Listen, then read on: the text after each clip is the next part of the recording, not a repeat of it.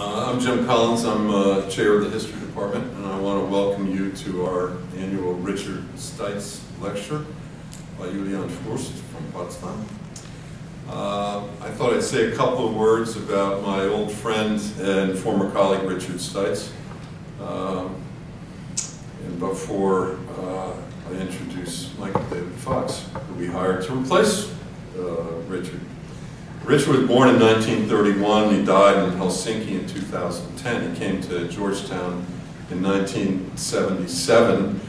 Um, he published his first book shortly after that, The Women's Liberation Movement in Russia. And I know from talking with Richard, he had a lot of problems selling this book to publishers because no one could possibly be interested in women's history in the 1970s. Um, and it was really a path-breaking book. His second major book was a book which I've always thought was, if not the best, one of the two or three best books ever published by any of my colleagues. Uh, Revolutionary Dreams, Utopian Vision, and Experimental Life in the Russian Revolution, which won the Vucinich Prize in 1989-90. The Times Higher Education Supplement called it a dazzling compendium of the manifold ideas and projects that flashed across Russia after 1917 and it certainly is. He published many things after that on Russian popular culture. He wrote a book on serf theater companies in the 19th century. And at his death, he was working on a book uh, about post-Napoleonic Europe, which came out after his death. Now, Richard was quite a character. He never had a driver's license. Imagine an American would never had a driver's license. Um, he taught and lived in the rural Midwest. I always wondered how he survived that without a car.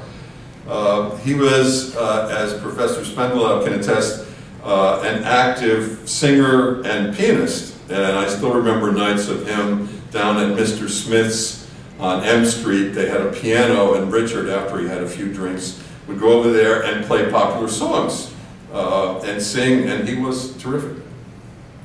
He was also an innovative teacher, and I learned a lot of things from him and stole plenty of his ideas from my own classes. His PhDs teach at universities like Cambridge, Michigan, University of Puerto Rico, small colleges like Dickinson College, really all over. He was one of the great producers of uh, historians of 20th century Russia. And I'm going to borrow one statement from Richard before alas I have to go to another meeting that I have to be as chair of the department, uh, which is taking place right now. And this is a quotation from Richard talking about popular culture, which I think fits in with today's uh, session. Popular culture is part of history because it is much a human experience as war, slavery, revolution, and work.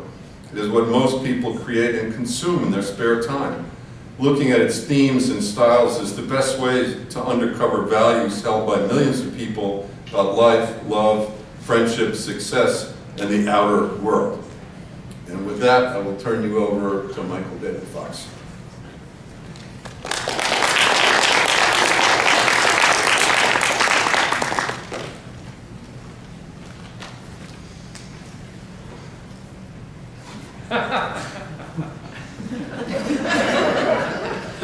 why I didn't wear a tie, because Richard would never allow us to You dirty rat.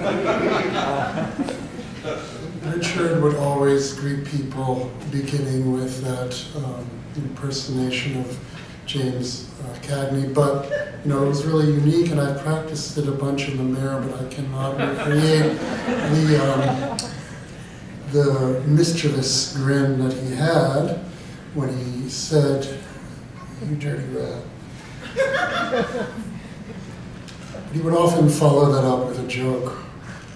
Did you hear the one about the Swede, the Norwegian, and the Finn who were sitting around a table with a bottle of vodka? And the Swede says, Skål.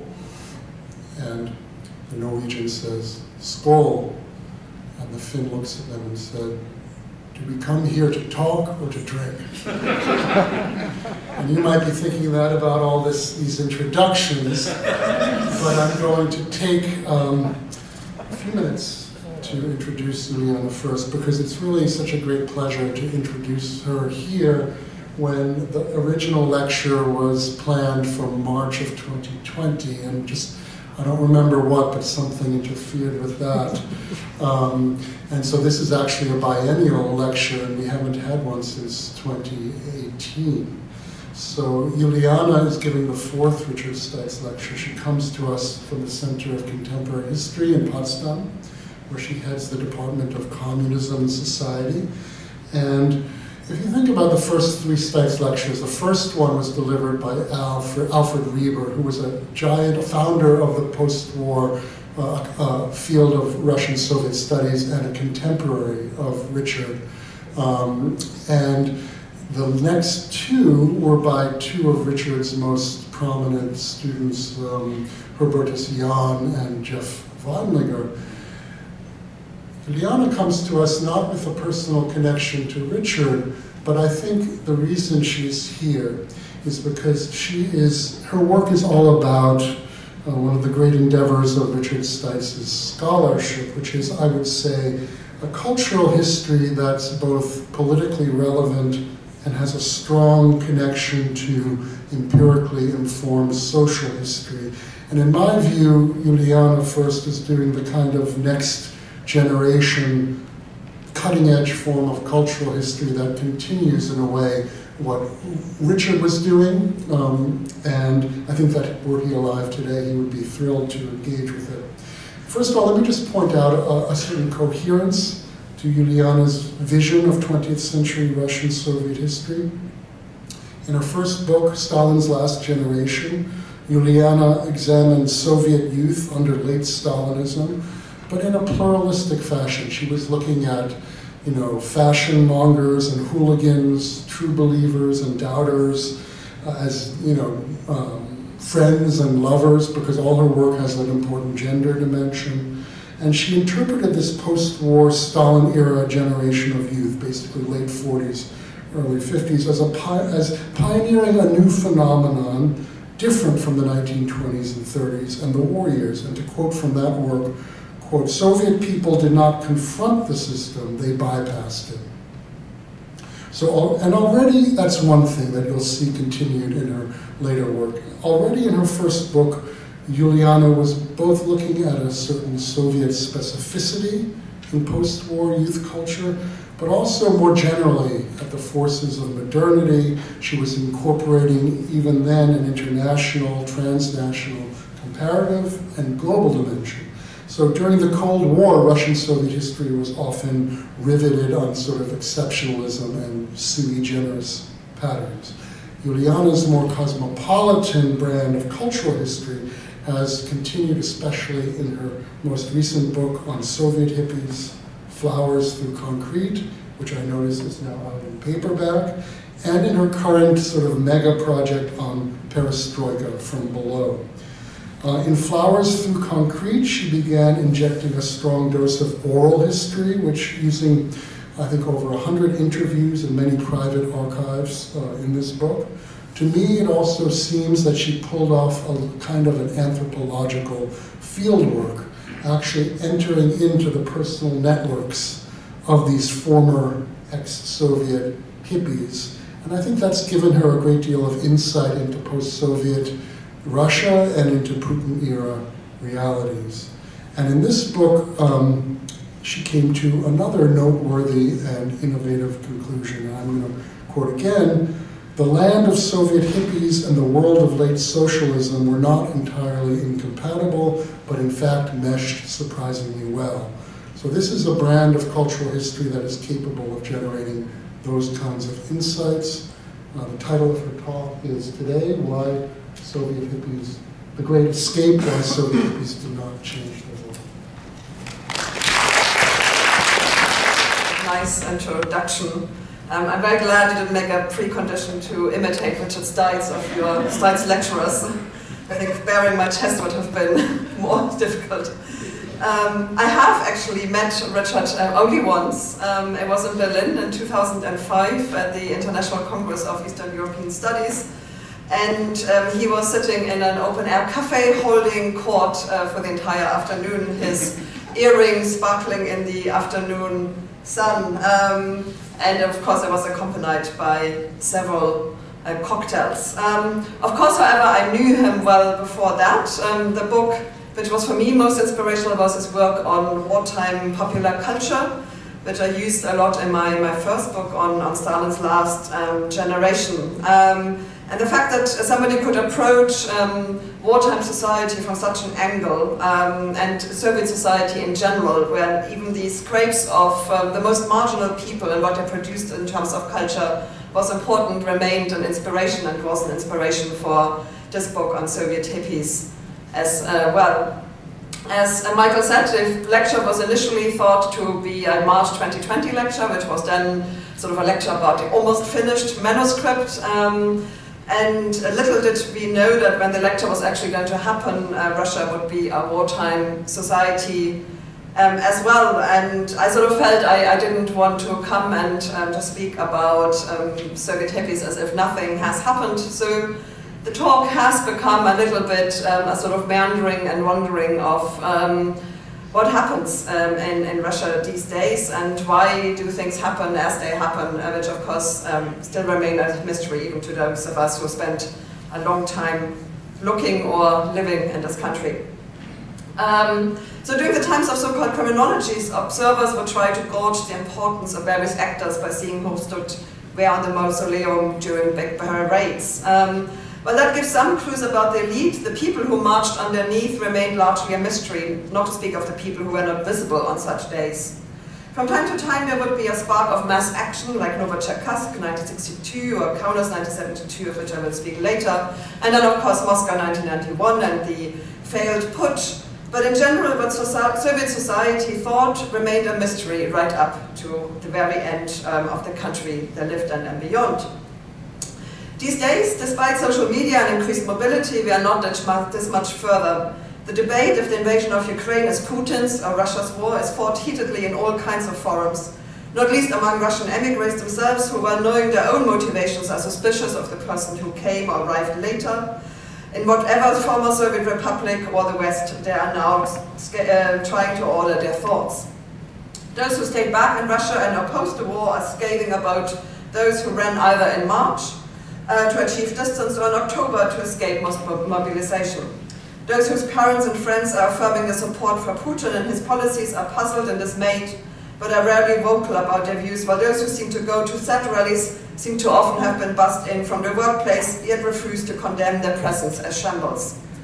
In general, a great who of silence is once again resting over Russian society, leaving all interpretations open. What does this all have to do with Soviet hippies, you may ask? That uh, unexpected entity of Western counterculture in a society that was keen on the mobilization of all culture and activism for official purposes? My argument is a lot. Understanding the practices and behavior patterns within Soviet society of Soviet hippies is not only about understanding the margins of Soviet society, it is also understanding the mechanisms of the society as a whole, which in the extreme case of hippies are highlighted like experiments in a test tube. Hippies were not outliers of late socialism. They were an integral part of it, reflecting its inner workings while at the same time shaping them. Understanding Soviet hippies' relationship with the politics of their time and the Soviet system as their habitat makes visible the survival mechanisms that were employed by late Soviet society as a whole. Precisely because their reliance on a Western model and precisely because they chose to take matters further than the average Soviet subject, they make visible what was more hidden by the large rest of society. In other words, just as we learn a lot about a state by looking at, at how it treats its weakest or its enemies, we learn a lot about a society by looking at those that are more exalted and more extravagant in their behavior and hence elicit a stronger response from the state. As I will argue more detail at the end of this lecture, despite all that has happened in the last 30 years, the learned practices of late socialism still govern much of today's social action and inactions. Especially in Russia, where an increasingly dictatorial regime has stifled any narrative any narrative of citizens' power. While richer, at least in the urban areas, and more cosmopolitan in relation to power and money, many Russians have resorted back to well-known strategies of survival and carving out private spaces in face of a system they feel they cannot control nor influence. If you substitute the party with money and influence in the Soviet system with Putin's framework of controlled democracy, we end up with a qualitatively different but structurally very similar setup to late socialism. Indeed, I would argue the similarity is one of the appeals of Putinism. To look at the inner workings of late socialism is hence not only an exercise of excavating a lost civilization, but a way to get a handle on understanding how Russian society responds to the development now and over the last 20 years. At the heart of the Soviet hippie project, which I studied for so long, was what I would term the Great Escape. Unlike dissidents, Soviet hippies were anti-Soviet as a mood or lifestyle, but not necessarily as a form of activism. This meant that the Soviet hippie movement was extraordinarily successful in carving out spaces within Soviet system that ran parallel, alternative, or even counter to official spaces. I will start with a little bit of hippie history. Starting in about 1967, hippies started to appear in almost all Soviet cities with large communities, especially in the Baltic towns. So um, I have a short run through here of the early hippie communities. Here's Leningrad 1966, Tallinn 1967, um, a guy who later on became famous for tailoring jeans. These are his first products. I think they improved. Um, Love Street in Kaunas in 1967 um, a similar group in Palanga in 1969 and their whole, whole hippie family. In Kaunas in 1971, um, the fountain which becomes to prominence later on, and I'll talk about that later. In Moscow in 1970, um, appropriately assembled under Engels and uh, Marx and Lenin. Um, in Lviv 1974, actually existed a hippie community much earlier. And in Riga in 1976, and finally in Ufa in 1980. So this is just a brief uh, run-through of hippie communities that existed. The large number of hippie communities, which often started out as a kind of Beatles fan club, as was obvious in the first picture, which actually, interestingly, I cannot help to tell you this, the first picture of Leningrad on the other side of that wall lived Vladimir Putin. Um, it's uh, Leningrad's main hippie grew up in the same house as, as Vladimir Putin and played, played together with him in the sandpit. But um, the development from then on was different. so, indeed, there were Soviet newspapers that introduced Soviet, Soviet youngsters to hippiedom. So already in 1967, um, Pravda ran an editorial called Hippie et Hippie and Others, and later on, um, the year afterwards, uh, came a very famous article called um, Travels into the Hippie Land, um, which was already um, written by somebody in America, a Russian correspondent, um, yeah, Borovik, um, whose own children had already fallen for the creed in America. Um, so Pravda Vokrug Sveta uh, thought that anti-capitalist, anti-Vietnam counterculture could provide another avenue of reporting, um, of um, reporting how the uh, Western society was falling apart. Um, for some reasons, nobody thought at the time that the movement could take off in their own country, especially since their reports and pictures provided a well-sourced how to do um, element. When hippies appeared locally, official instructions of how to deal with them were absent. Um, it just wasn't previewed um, in the canon.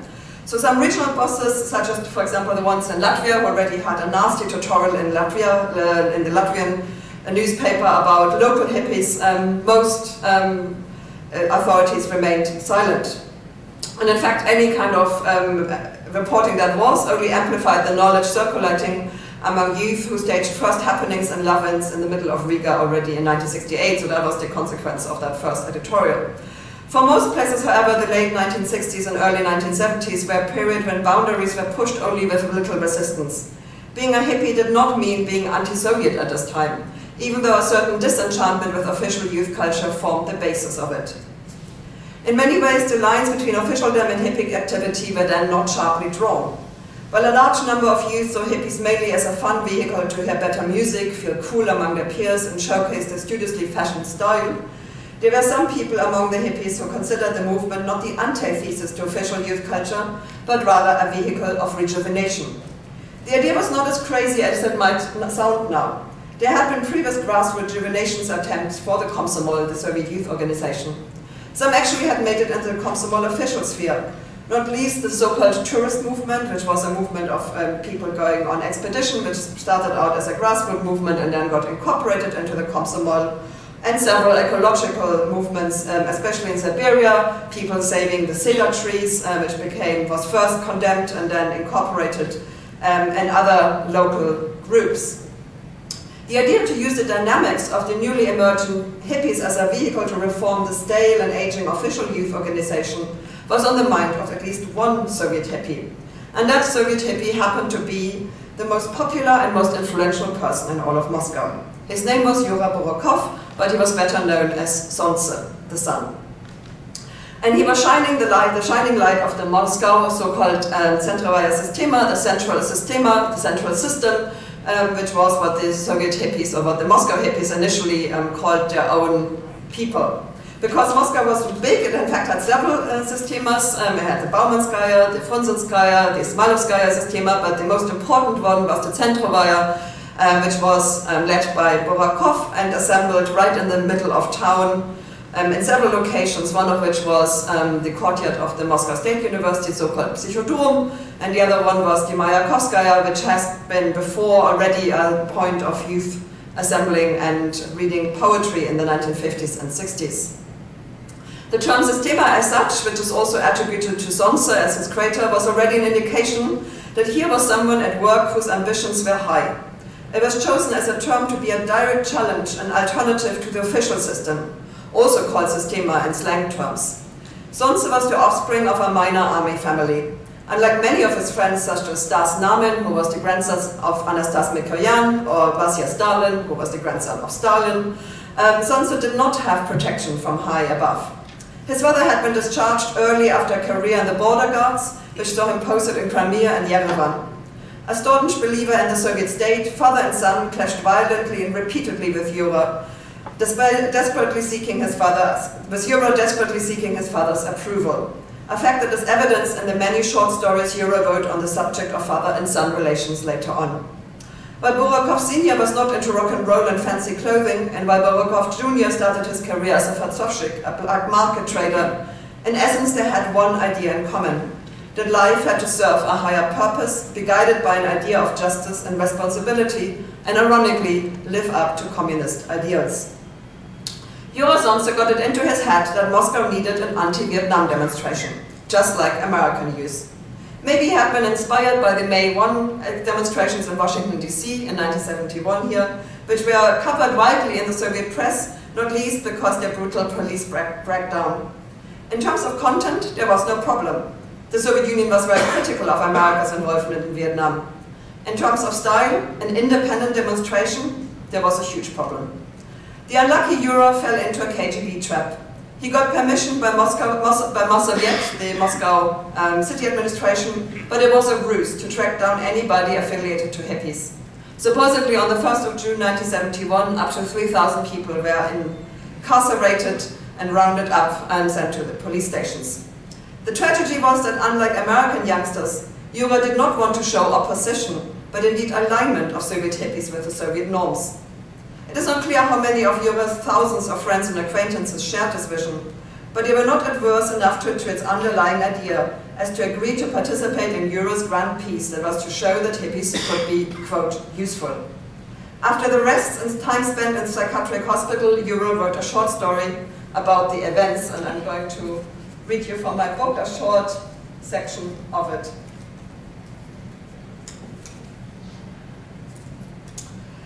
Finally, we could show, so Yura had this funny habit of writing of him in the third person. Finally, we could show that we are far from being hooligans who are wasting their free time. Instead, we are normal people like all the rest, that we are interested in the life of the country and of the whole world. Maybe this is a bit of a big claim, but in any case, we do not want to stand aside and look at what is happening only as observers. Let the people know that even long-haired youngsters are capable of things worthy of human beings. So you can see he's quite far from being an oppositionist at that moment. But Yura insisted on giving the Soviet-endorsed uh, peace message his way. He said, many people always speak for us, but we want to say it ourselves. We don't want to be spoken for. And that was, of course, exactly his problem. But Moscow was not alone in raising its voice in 1971. The hippies of Grodno were one step further. They did not demonstrate, oh, this is actually, so this is the um, um, handwritten uh, short story of which I just quoted you. And this is Yura Solnze after the um, um, demonstration, after he came out of the psychiatric hospital, and I think you can see a little bit the disillusionment that has set in. But the hippies of Grodno were a step further. They did not demonstrate for peace or against war in a land far away. They demonstrated for themselves. After a day in visiting friends had been roughed up by local police, so Grodno, by the way, is in Belarus, and the next week, on August 11, also 1971, they organized a protest against their treatment. They um, called out for justice for hippies. They were roughed up even more severely. Their leader, Misha Gulenin, was paid, uh, who's here in the center, was paraded on local television with the words, don't be afraid, this is not Masha, a female name, this is Misha. He feminized himself. More consequential were the Kaunas and Dneprodzerzhinsk riots, in the first, a long, young, long-haired man burned himself near the local hippie meeting spot, which was the fountain I showed uh, in uh, one of the pictures initially, and also happened to be right opposite the party headquarters in Kaunas. On his funeral day, riots broke out. As we can see here, and in fact the riots lasted for several days. This is a KGB picture. You can see the people being numbered. Um, above you can see a little bit of uh, the enormous crowds, but there were many, many more. In fact, it took three days and the army to restore order.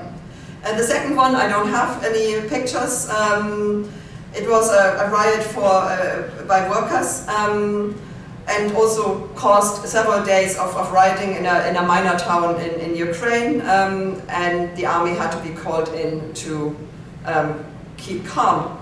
And all of these things were, of course, were frightening spectacles for the authorities who learned that youth subculture and politics had to be kept apart. Especially because in Lithuania and in Kaunas then um, it initially was also calls for the freedom of hippies and then very quickly came into calls for the freedom of Lithuania, so made that jump into nationalist sentiments and uh, also nationalists, of course, uh, ended up being on the streets um, and in fact providing the arms that were um, in Kaunas. But it's also a frightening experience for the hippies involved, who mostly learned the hard way what it meant to cross the Soviet state on the political field.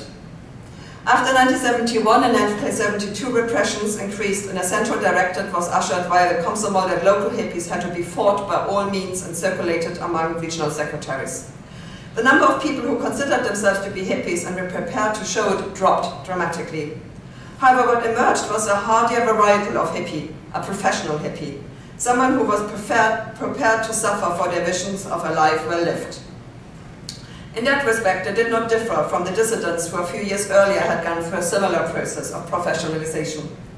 But unlike dissidents, Soviet hippies now directed all their energy not towards engagement with the state, but towards disengagement. The parallel world they built up from now on was a world that was designed to have as little touch point with the official Soviet world as necessary. Soviet hippies became masters of the Great Escape. And as such, they actually achieved an impact on society, the one Solnze had desired. But rather than rejuvenation of the Soviet project, they showcased a way out of it. A way how to live with it without confronting it. Ultimately, the strategy proved to be more corrosive than outright dissent not least because late socialism allowed so many routes of the Great Escape. Dachas, garages, fishing, scientific expeditions, personal love stories, and many things more. Soviet hippies were only a small part of this bigger story, but they both provided a model as well as a path-breaking function. They pushed the boundaries of the Great Escape to its very limits, signaling how far a Soviet citizen could go before being reprimanded. Let's have a look at this closer uh, mechanisms of this great escape. The first one is physical. Um, after the demonstration and crackdowns, hippies started to look for alternative to the big urban centers, where both surveillance and policing was particularly strong. The Eureka moment came in 1971-5 after a band of Moscow hippies joined a sanctioned exhibition of nonconformist artists under the leadership of Oscar Rabin. Ever since they were known as the group Volosy or Hair, and they caused a scandal with some of their works, most notably a hippie flag.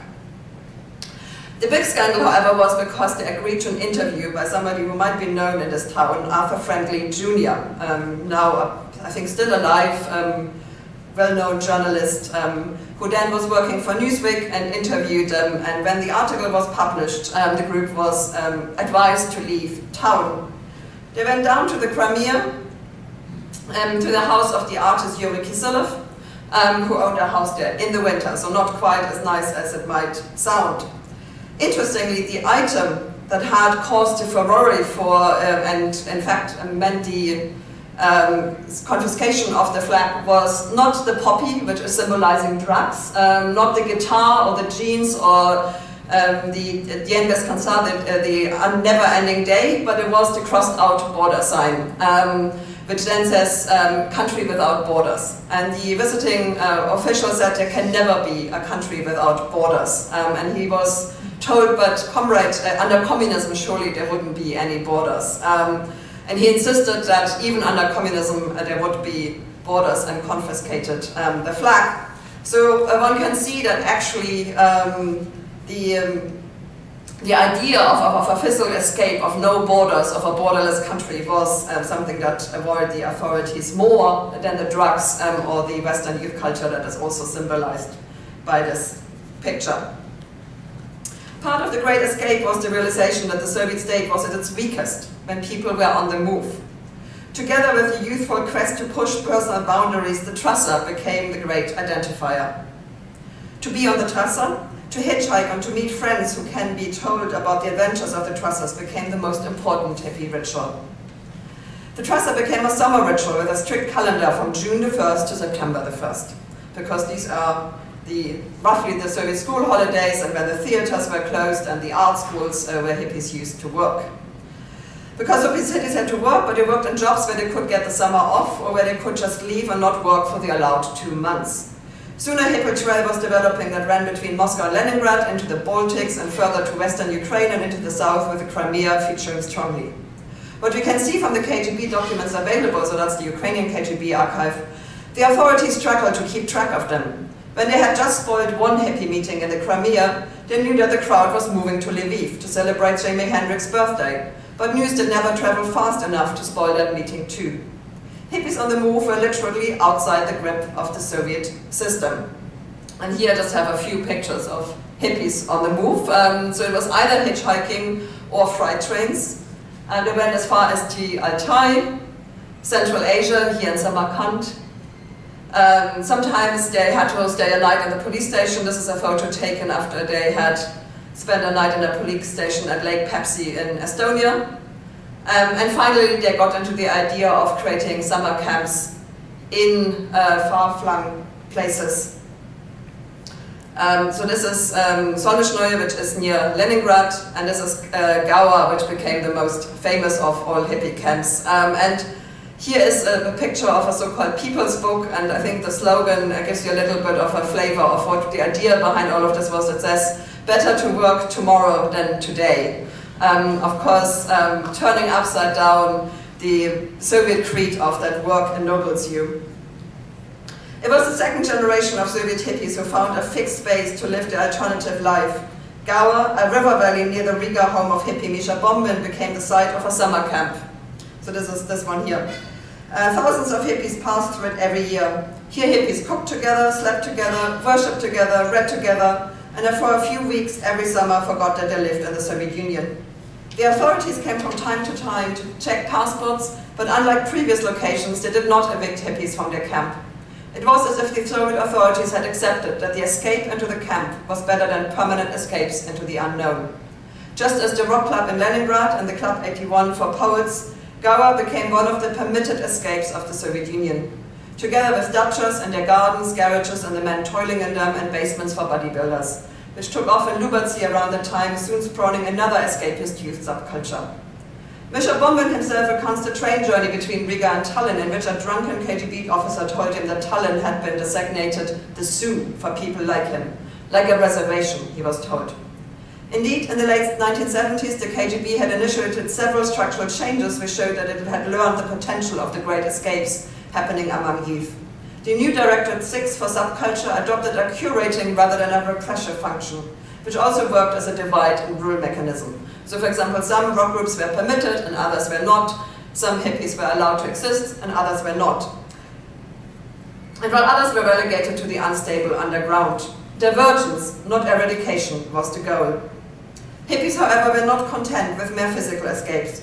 Their true escape was hence not the travel on the Trasse, which ironically made them very knowledgeable connoisseurs of the Soviet Union, better than many bureaucrats. So, example, here you have a picture of hippie bikers in um, the Carpathian uh, region. Um, so hippies saw actually rural life in a way uh, how most urban uh, people of the Soviet Union never did. Um, but on the other hand, they didn't use this knowledge uh, to come to any uh, societal conclusion. The true escape happened not only through running away from her participation in Soviet life, but into escaping into a space saturated with un-Soviet music, un-Soviet substances, and un-Soviet emotions. Um, so here's an example of un-Soviet music. This is the band Rubini, which was a, one of the most famous bands in Moscow in the early 70s, exclusively a cover band, sang only in English, didn't speak a word of English.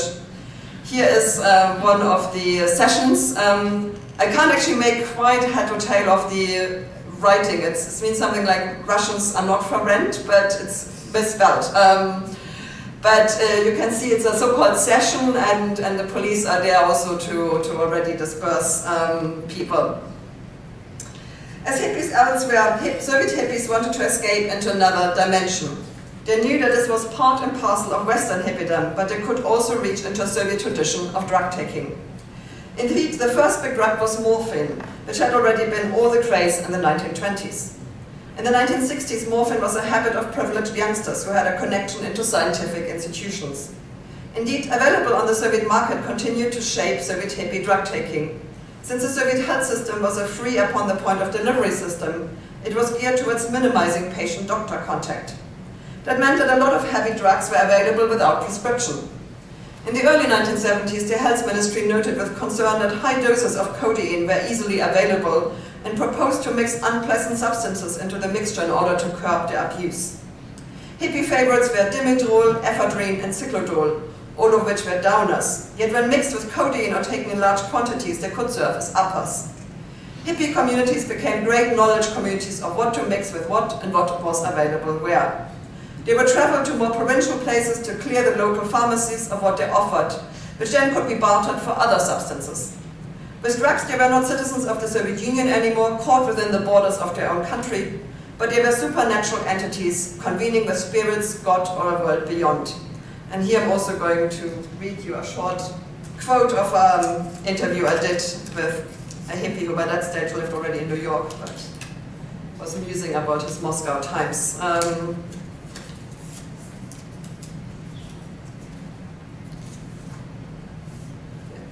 Amphetamines I really liked and used a lot.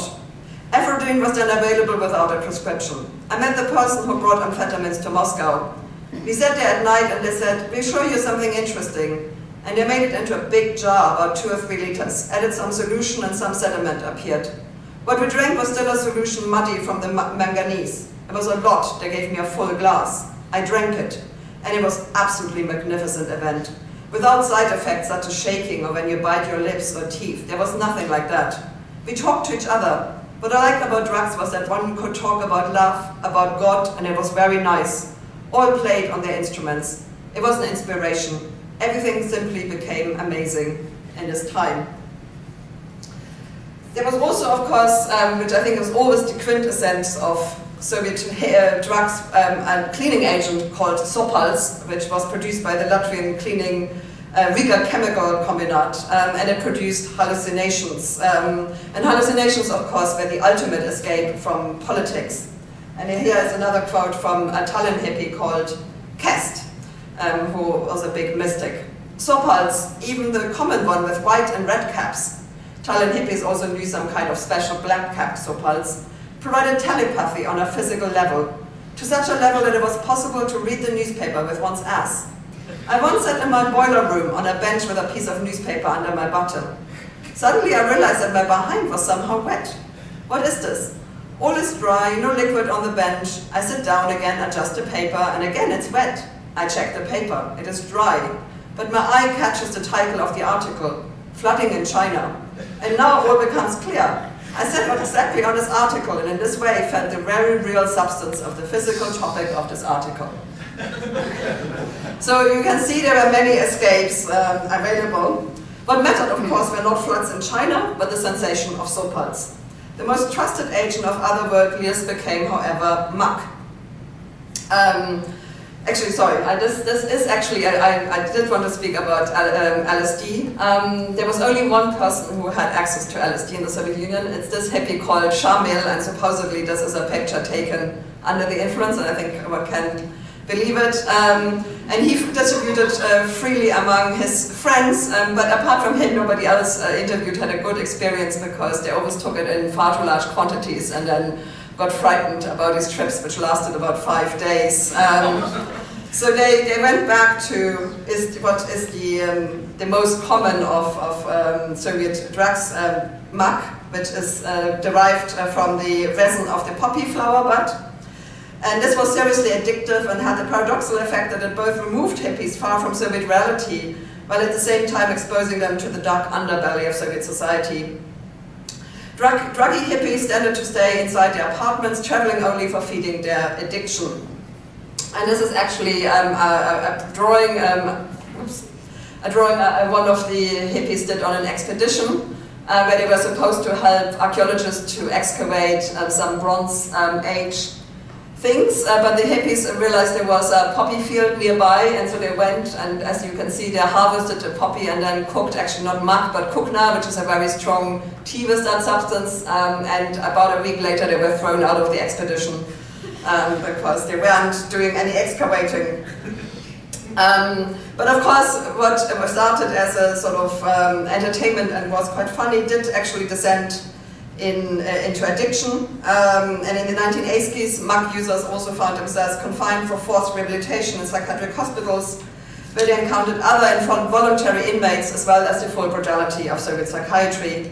Some of the friendships between hippies and political dissidents, interestingly, date from these joint times spent in psychiatric hospitals.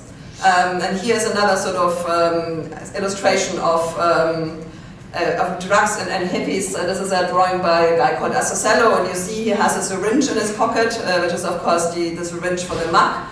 But the pocket also has another, an additional eye, so the, the, the drug is giving you more, more vision. Um, and he, he's striding into, into something, into sort of fairy tale lands, which sometimes also called stone land, or um, but it illustrates quite well that the drugs basically allowed hippies to, to live in, in this, this version of themselves where they were knights um, empowering and, and uh, walking towards castles or mountains um, or other things. So while drugs provide the speedway to escape, other escapes were slower but more effective in creating a distinctive counter-community. The most important difference hippies felt towards the rest of society was that they felt differently. They rejected the official emotional regime of the late Soviet Union, at least partially, and created their own universes of feel. Love, of course, especially love towards friends, featured very highly. Touch of other people and kindness towards strangers were all viewed with suspicions in a country that had suffered so much internal strife and betrayal. Andris Grinbergs, who was one of the early Riga hippies, describes his first love in Riga, where he and his friends painted flowers on people's faces and hugged them. Most of the people reacted with shock and horror. I suspect they would have in the West as well. But those who allowed themselves to be taken in by this other emotional world were enchanted by the world of warmth. And I want to read um, also a passage here by the sister of one of Moscow's main hippies, um, who also was in the community, but unlike him, didn't become a drug user. In the beginning, I of course liked this creative atmosphere, when you enter a different life, when we met at other people's home. Everybody is a brother to you. Everybody treats you like a king, like a relative that is understood, but even more, like a king. They put you the whole time on a pedestal, no matter what kind of education you are had. They bestowed on you this admiration, this warmth. I love you as you are. They safeguarded this internal love because they did not have any other love. Everyone had problems in the family, with parents, not to speak of their problems with society. They warmed each other with their love. But she then gets more disenchanted um, because she sees how drugs um, destroy this initial community. Um, sorry, no one. The later religious dissident Alexander Ogorodnikov described his generations nurtured as the escapees from a Soviet reality that smacked of moral compromise with a regime few believed in. And I want to read that to you too, if I find it.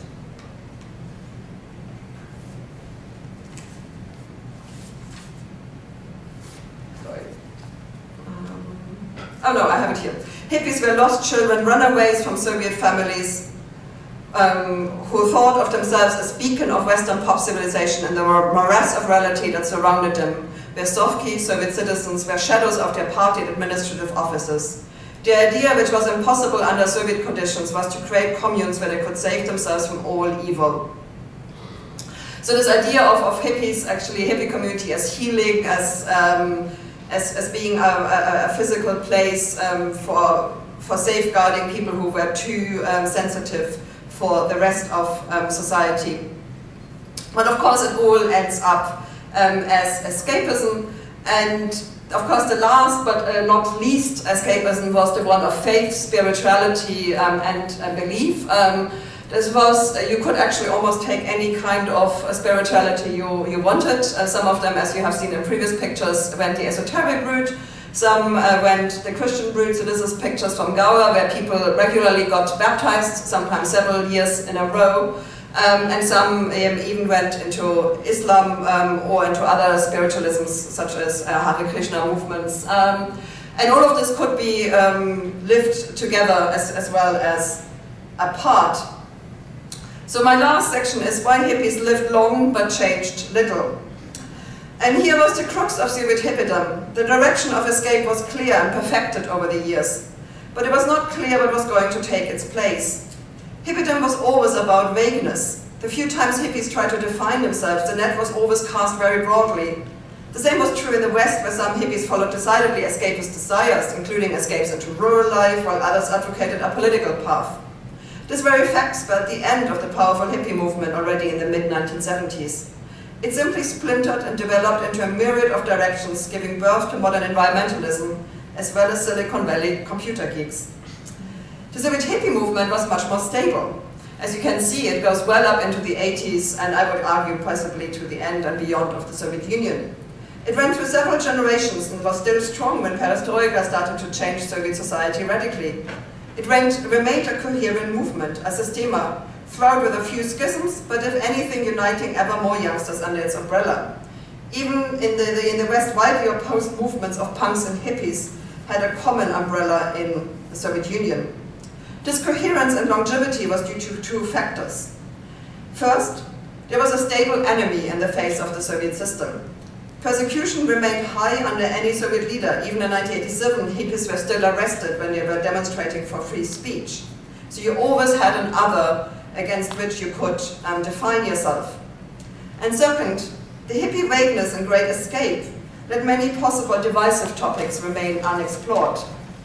So unlike in the West, where hippies confronted political dissidents, gender, feminism, the question of pacifism, and empire and nationalism, none of this was ever addressed within the Soviet hippie community.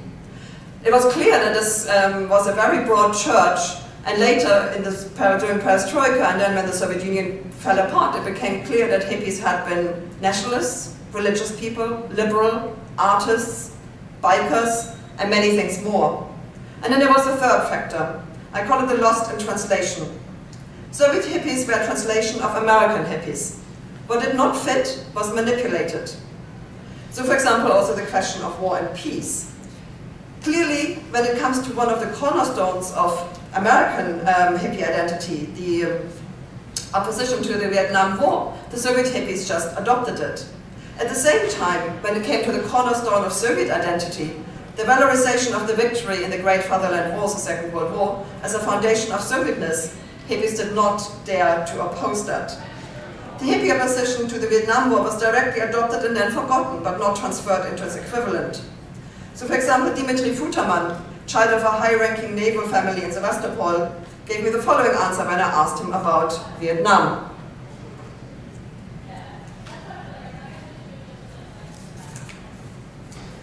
The war in Vietnam. I wore a badge. Somebody had given it to me, saying I'm against the war in Vietnam.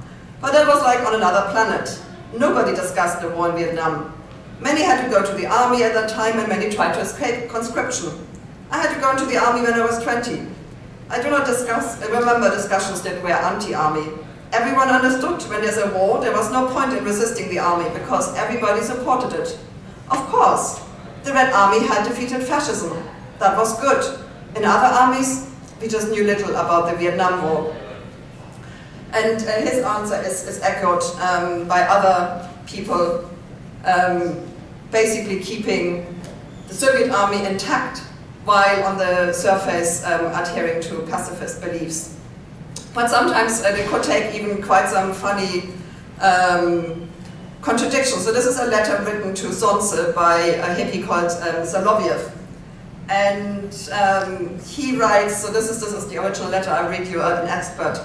Take a look at the map and you see that I'm three kilometers from the ocean.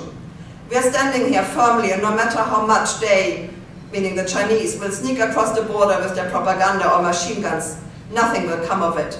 Bastards. I curse the Far East and Primorje, where I serve, but when I think that guys like me die for nothing, struck by their filthy bullets, that their stinky legs can step up on our land, my blood boils. Bastards, bastards, lousy little bastards, narrow-shouldered creatures, dark, dirty, along with their fucked up mouth. I have no words. One desire is to grab my machine gun and shoot, shoot, shoot them there until no, no one narrow-eyed bastards remains in this world. And as you can see, he has adorned this letter with lots of hippie symbols of flowers and um, love signs. So um, there were some attempts to protest the war in Afghanistan. Um, this is a picture from uh, Leningrad, um, but the legacies of these protests is highly disputed, um, and it certainly wasn't a very big. So hippies in Russian society today, so where does this leave us regarding Russian society today? What does it mean for the Soviet hippie impact on the world? First of all, Soviet hippies did have an impact, just as American hippies left hippies left the world differently in ways which became only visible many ways, many years after they stopped being a phenomenon. The same was true for Soviet hippies. Just as Soviet hippies changed over the decades, so did Soviet society. And one could argue that Soviet society became more hippyish. Certainly in terms of fashion, what was unacceptable in the late 1960s had become standard bohemian look by the late 1970s. Rock music was partially legalized, and by the late 1980s, bands such as Kino and Mashina Vremeni packed whole football stadiums. I would argue that the survival skill of Soviet hippies were also largely adopted or developed in parallel with the Great Escape by Soviet hippies. The flight into alternative spaces is still characteristic of much of Soviet society, may it be dachas or the arts, which once again were declared apolitical. Life running parallel rather than counter the Soviet system became the norm rather than the exception. People's serviceness became so hidden under their everyday as initially not even being recognizable as such. The demise of the Soviet superstructure was hence also greeted more with a shrug of the shoulders than with great sorrow. Indeed, the whole idea that politics is dirty and that pure souls do not dabble in politics survived much longer than the short period of perestroika activism, which also engulfed the hippie community. So for example, in 1987, there was a demonstration under the Gogol Monument in Moscow for free speech. And the first big demonstration in Lviv was partly co-organized by the local hippies. But for example, so this is a call to the June the 1st Tsaritsyn um, meetings, which you will soon see in a film, um, by Yoga Devasant, who in fact was one of the more politicized hippies. Um, but in the right-hand corner, you can see the following, and it's a quote from 1968 from New York. Um, we don't have to take part in all of the um, swineries happening in their society. And um, it's then 1992, which is the year the, the poster was made, of saying, um, let's continue the silence. Uh, that's that's the, the general message. So silence, rather than speaking out, was valorized um, as something that was um, more pure and um, more sophisticated. In the former republics, especially to the west of Russia, hippie history chimed well with the new narrative of nation building. Having political views and having been anti-Soviet was a badge of honor there and remains so. Russian hippies and Russian society at large do not quite know what to do with the stories of dissent they certainly also have. Many Russian hippies now agree with Putin that the collapse of the Soviet Union was a geopolitical catastrophe. Their own role in it makes them uneasy. It goes so far that one hippie even told me that he believed that Soviet hippies, uh, of which he had been a leader, were a creation of the CIA in order to weaken the Soviet Union. While not so extreme, the vast majority of Russian hippies escapes now even more than into the more than ever into the mantra of the apoliticalness of their youthful pursuits. That too has made a career in Russian society at large. People are happiest when they can put distance between themselves and dirty political business. They do not only accept lack of agency, they covet it, because it bestows on them the purity of artistic and soulful pursuits. So this is especially true, I think, for the cultural elite in many ways. The fact that Soviet hippies remained vague in their definition and only determined in their feel and emotion meant that their many different churches found a home under their roof. While not so noticeable in Soviet times, the post-Soviet years flushed out this heterogeneity. There are now former hippie supporters of Putin, Schnur, for example, of the band Leningrad, and Garik Sukachev, who made a film about Solnze, as well as opponents, for example, um, Artemy Troitsky, the famous rock critic, um, or people like Alexander Ivanov, who is one of Navalny's organizers. But they are the outliers. The vast mass hides in their VPN-powered Facebook groups discussing old rock legends as if nothing happened. From time to time they let slip that they are following the news, but they rather discuss the pet rescue stories of this current war than Bucha or Izium. Another segment has not bothered with EVPM. They too are unlikely to be active proponents of the war. But they share an acceptance that whatever made them different that not, does not call them to arms now.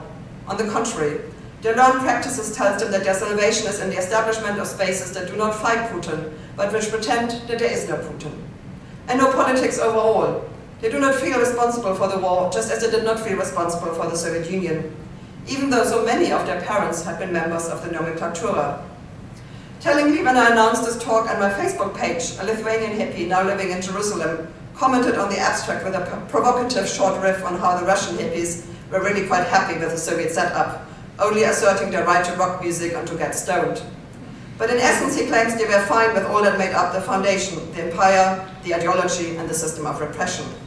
This caused a furious response from some of the Moscow hippies who praised as hippie virtues their studied apoliticalness. Uh, Both sides claimed greater hippie authenticity. While the particular personalities did not know each other back in the days, there has been much socializing between Baltic and Ukrainian hippies with their Russian peers. But the war, which started in 2014, exposed these differences mercilessly. And as an end, I want to show you um, a few minutes of a Russian of a documentary on Soviet hippies, of which I was a co-producer, and the director was an um, Estonian called Terje Toomistu. Um, and now I hope I find it. Um,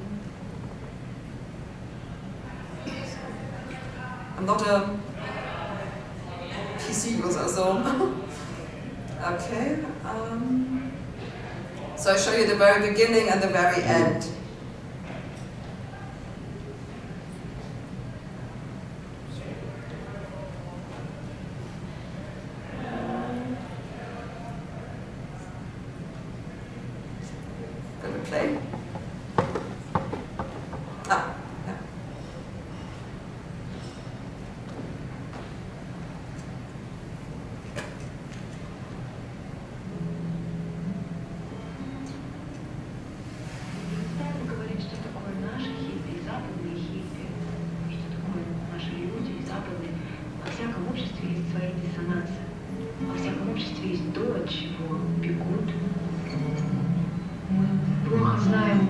Куда мы идем? Но очень хорошо знаем, откуда. А тем, кто не спит, не нужен твой сад, в нем ведь нет ни цветов, ни камней. И даже твой Бог никому не помог, есть другие светлей и сильней. И поэтому ты в пустоте, как на старом завыдом холсте.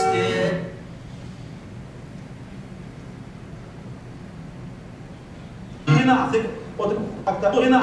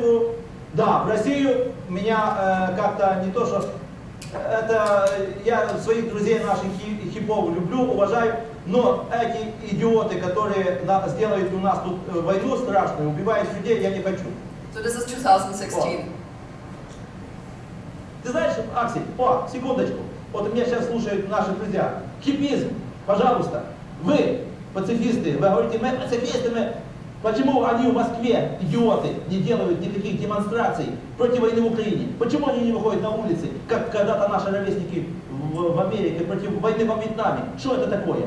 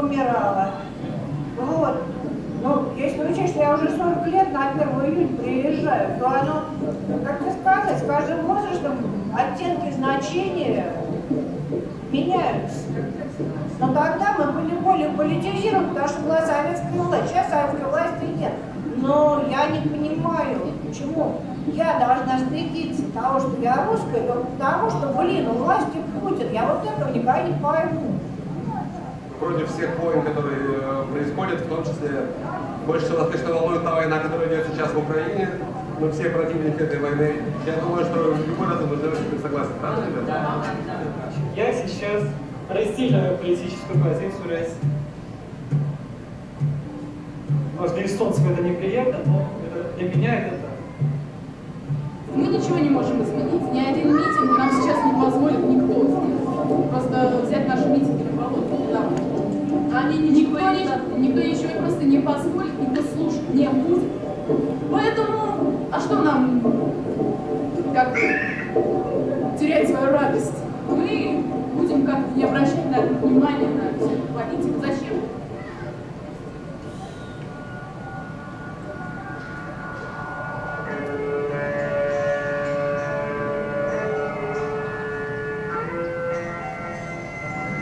В принципе, сейчас демократия, типа, и вообще больше свободы дается людям, поэтому немножко сложнее э, условия как бы такой вот мнимой свободы увидеть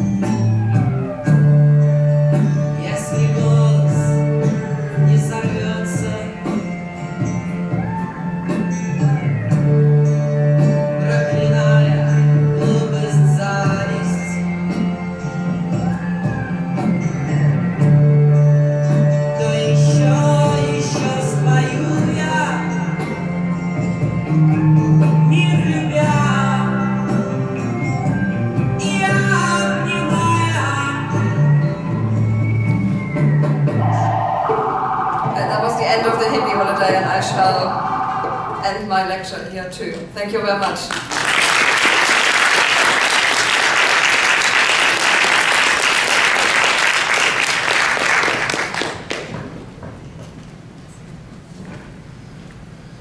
I'm, was, I'm sure there are a lot of questions, so the floor, I have many myself, but the floor is now open, so please raise your hand, and there's a microphone coming around. Uh, I'm Diana. Thank you very much, Eleni, for this uh, fantastic talk. Um, I do have uh, two, two questions, please. Uh, first of all, I'm curious if there were any interactions or uh, writing letters, making phone calls between the Soviet hippies and the ones from the West. Any kind of, uh, I don't know, feedback that they were getting from the West. And just curious because, of course, they were looking as, at them as role models. And then, could you say a little bit more about the background of the people from this movement? Because you kind of hinted pointedly, saying like, this one was from this family, this one from the other one. But if you'd have to make a profiling of them, who were the people? Thank you. Thank you. Yeah, um, it's actually a favorite topic. I have another talk on these Western contacts. Um, there, there, there, were, I mean, they were far in between, and um, some Soviet hippies never saw Western in their, in their life, but most of them saw hippies from Poland um, or other um, Soviet bloc countries um, who could come, but especially hippies in Moscow uh, did mostly meet at some point in their life um, somebody from West Germany or um, England um, or America. And um, with Solnze, I, I, was just actually telling the, the story that um, I had this amazing experience. So after I actually worked for seven years on, on this project and I had thought a lot about Solnze and what motivated him, etc., I finally found his brother and I interviewed him and before we even started, he put a box on the table and said, this is all that's left from my brother. And it was full of these autobiographical writing and letters and um, an address box. And from his address book, I can reconstruct it. He knew people all over the place. Um, and in the age of Google, I started Googling these people and seeing if they would tell me something from the other side, and some of them responded. Um, and one actually had a sort of kind of um, small affair with, with, with and she then sent me her diary of the time when she met the Soviet hippies by accident on, on Gorky Street. Um, and um, couldn't believe that they, they, they, she thought that they were making fun of it because they were saying, oh, this is Stalin's grandson. And she's like, oh, well, surely not. Uh, but yes, it was. Um, so, and I, I, can see she then sent me pictures of herself from the time, and I, I could see that uh, for, for them it must have been a, a sort of a, a huge event of finally seeing one of these, these hippies and flash, and she of course called herself freak, and there's sort of lots in her diary, I can see there's sort of kind of misunderstandings, um, like the um, translation doesn't doesn't quite um, quite work, so she's completely blown away by the fact that all these hippies are sleeping in two very uncomfortable beds, and, and she's like, well, they're really freakish, and but of course, the, the local hippies were blown away by the trousers one of these guys uh, was wearing. In fact, he didn't get let into the Lenin Mausoleum the day after because uh, with such trousers you were not allowed to go. Um, so there, there, there is that, but um, it's, it's fleeting. And the interesting thing is that I think it's very important in the early years and then later, of course, because in the West, um, hippiedom isn't such a thing anymore, they sort of kind of realize in the mid-70s that they're on their own. And um, especially because some people actually emigrate uh, to America. There's a hippie couple also from Moscow who gets thrown out um, uh, and they end up in, in, San Francisco and Los Angeles and they write letters back and they're quite disenchanted uh, with the West and, and also they write back there are no hippies here. Um, and that of course is, is a shock but in the end actually it, it facilitates um, what I would say is the Sovietization. So in the, in the beginning it's very much about imitation and then from about 73, 74 onwards, you can see how they're starting to build up these mechanisms which actually make them very resilient in Soviet society. And that goes into your second question that, yes, initially a lot of these children are from privileged backgrounds. Certainly in Moscow, where you have um, a lot of them concentrated in the um, journalism faculty of Moscow State University, which in itself was uh, the most prestigious faculty where you basically only got in by connections and um, so all the children of other foreign correspondents. Um, then one girl, her mother was a KGB undercover agent in Oxford um, in the later 40s. Um, and then now was teaching English to um, cosmonauts and, um, and, and secret agents. Um, then one guy was the stepson of uh, Brezhnev's English translator, and so really highest nomenclatura. Um, but they always were normal people, and as actually interestingly, as the movement becomes more Sovieticized and more sort of Soviet phenomenon, um, the nomenclatura uh, children mostly break away, not all of them, um, and it becomes a much more representative of at least urban Soviet society. So I think what I can say from the mid 70s onwards, it's not anymore only super privileged uh, people, even though some of them remain in the movement and also continue coming back in the in the 80s. But I think um, the pull back for them, of course, was much more um, enticing. So uh, first of all, also their families got into trouble when um, I mean, once the persecution started, there was a lot of pressure put onto their parents, and the higher up the parents were, the, the more pressure could be put on them. So some of them sort of stopped being hippish to, to safeguard their parents, and, and others um, just basically took advantage of what that kind of position as a, a privileged child could offer them and then sort of drifted away um, from it. So some of the very early hippies who I know by hearsay I could never find, um, especially women who had changed their names because they had been so sucked up back into, into, into um, nomenclatura society.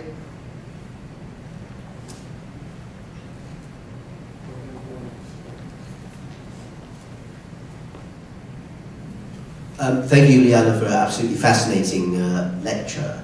Um, could you say a bit about any connections there might have been active or at least implied with earlier phases of the influence of American Western culture into Soviet youth culture? So I'm thinking, of course, of the Stiliagi, the beatniks of the 1950s who had come out of, you know, the young men who had come out of the Second World War and possibly even the pre-war period as well. I mean, I don't know if high Stalinism allowed any such influence at all, or whether it had to wait for the thaw.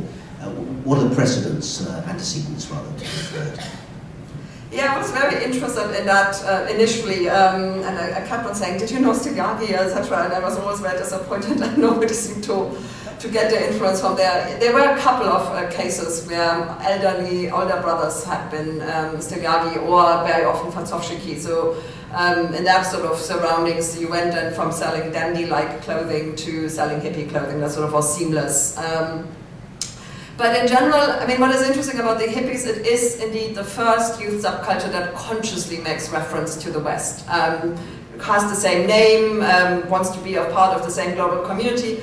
That wasn't true for the Stiliagi. So even though in the Stiliagi you can see the Zazous and the Halbstarke and, and all sorts of phenomena around Europe which look very similar and clearly caused by similar sort of dynamics of uh, veterans versus younger generation, etc.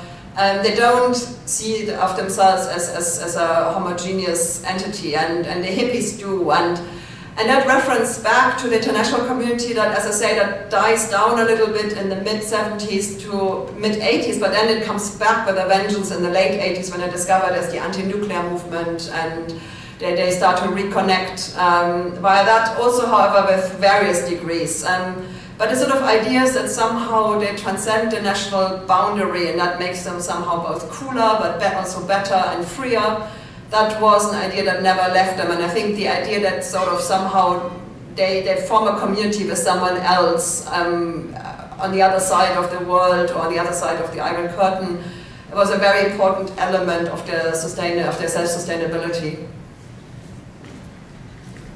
Uh, back there,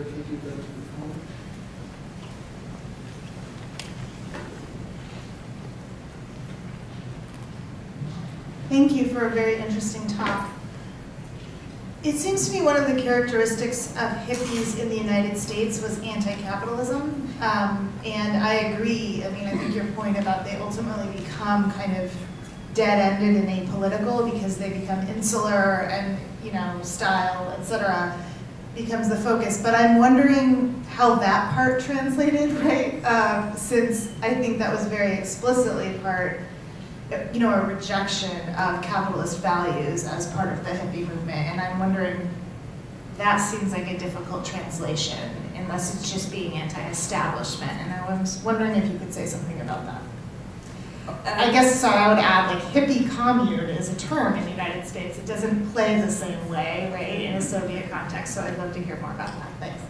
No, it's, it's really interesting because um, it, there were so many, there were so many of these uh, contradictions where actually really the, the hippie creed did not uh, fit particularly well. I mean, Vietnam, as I said, was one of them, and the anti-materialist culture in a society which was sort of um, not super materialist um, was a difficult one. But it's interesting, so they did different strategies to, to, to get around different contradictions. So Vietnam, they kind of ignored, uh, and in a way, of course, it was more comfortable to be anti-Vietnam um, and not be, not to have to be anti-Soviet at the same time. So um, and as I say, it doesn't translate into a concerted anti-Afghanistan movement, which would have been the, the obvious one. Even though, I mean, I, I wouldn't say it was completely, there is evidence that people did right things or did go on small demonstrations, but nothing nothing than, than one would, could um, expect, so nothing on the scale of the 1971 demonstration. So in the anti-capitalism, they much liked all these anti-capitalist stories which came over. So the famous one of, I think, Jerry Rubin um, throwing dollars, um, one dollar notes down the New York Stock Exchange and the traders scrambling to, to pick up these dollar notes.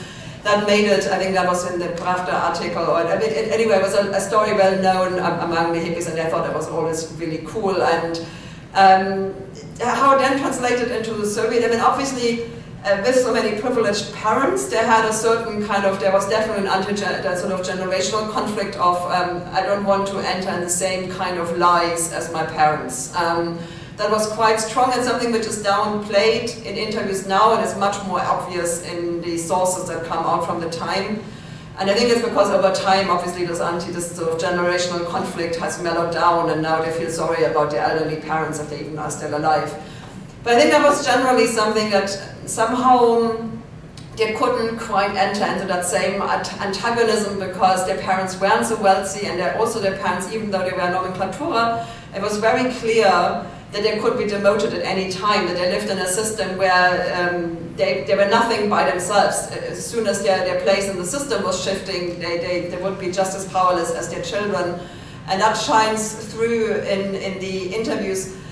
You, by necessity, and I, I, actually, in the chapter I have on that, I make that argument that uh, it was one of the things where actually Soviet hippies fit really well with Soviet society, but being anti-materialist is great in a society which doesn't have much materialism. So if you if you're not into buying expensive Western clothing, but you're happy and sort of like um, tailoring your own jeans and finding a button on the street and thinking that's destiny, that has to be the button on your jeans, that's much better for a society where you don't have many choices of buttons and jeans. So um, in many ways, the, the, kind of ideology then chimed well with the reality they lived in, and so they could be both anti-materialist and a very anti-materialist society and still be very different, because what they didn't embrace was the sort of properness.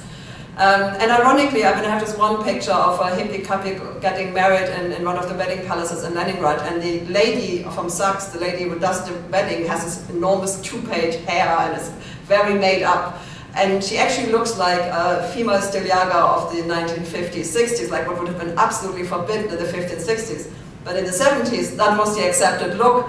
But the people she married were basically two long-haired youngsters. Um, and in fact, I know the story behind. She kicked them out first and said that, that, the man had to cut his hair, otherwise she wouldn't do the marriage ceremony. Um, so you, you, see, it's sort of it's it's shifting. I mean, basically, they reject that that properness that has that arrived in a more affluent society in the 50s and 60s, even though the society still wasn't very affluent. Um, so it was a very, very tricky negotiation of what they could have and what they couldn't have and what made sense. But yeah, it's something I thought about a lot over the years.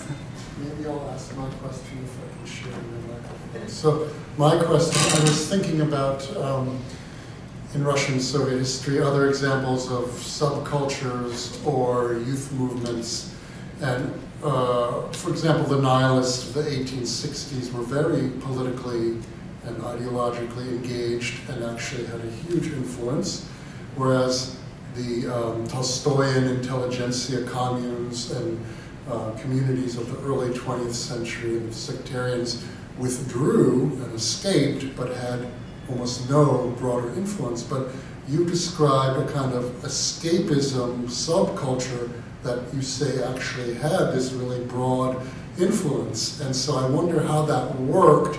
Is it because Soviet society is under reflecting the same trends that affect the hippie community, or is it somehow the hippie subculture actually uh, affects the broader society? Yeah, um, interesting. Um, and then of course interesting because of course the hippies were fans of the Tolstoyans and at least some of them were real disciple, uh, Tolstoyan disciples. But in general it, it, it was one of the sort of texts and ideas that were circulating among them. So how, how did they achieve influence even though they, they went into this sort of escapism? I mean, I think part of this is what you already suggested. Um, other forms of escapism arrived independently because basically Soviet society had come to that point where on the one hand it allowed the creation of these alternative spaces. It wasn't quite as restrictive anymore as under Stalin, and also it wasn't as invigorated anymore as it had been maybe in the 20s and 30s and possibly even 50s when the fall you have a sort of revival um, so it's, definitely a post-Thaw society, I think, is one. But the other thing is that um, even though the hippies themselves were a small band, um, by sort of doing things like organizing these music sessions, being in, very intimately linked with rock music, and of course rock music makes this huge career in the later Soviet Union, um, they sort of become a sort of um, lighthouse function. Um, they sort of say, okay, here is the marker, so far can you go because these people have tested it out. And if they go further, they end up in a psychiatric hospital, uh, which they frequently do. Um, so um, I think this is, this is sort of, they, they map out the territory a Soviet citizen, especially a young Soviet citizen say this way. I think, you know, for Babushka in the village, there, there was no hippie influence. Even though, of course, the Babushka sold them the, um, the poppy butts. So they made a, there was a real problem. They made a thriving business and um, I, I, know that from the Ukrainian KGB archive where they even were thinking about sending people around and telling the babushkas not to talk to the hippies anymore. So it's, um,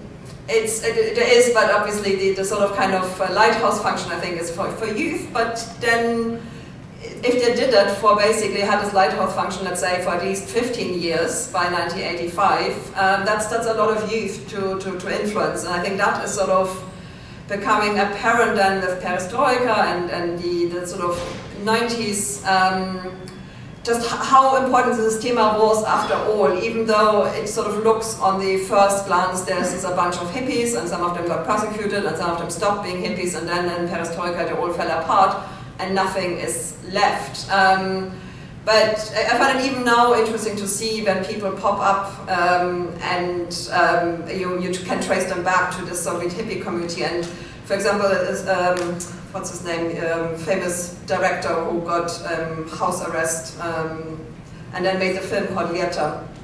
It's almost...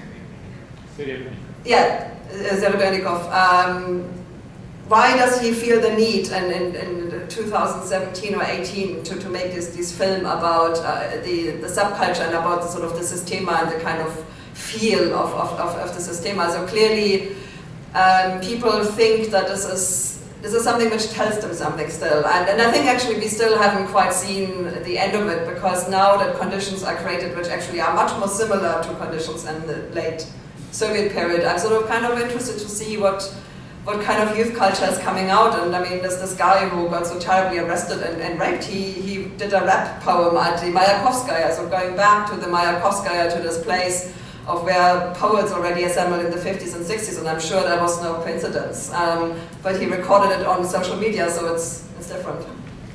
I think that's a great time to end on that note. We will see what happens. Please join me uh, thanking you,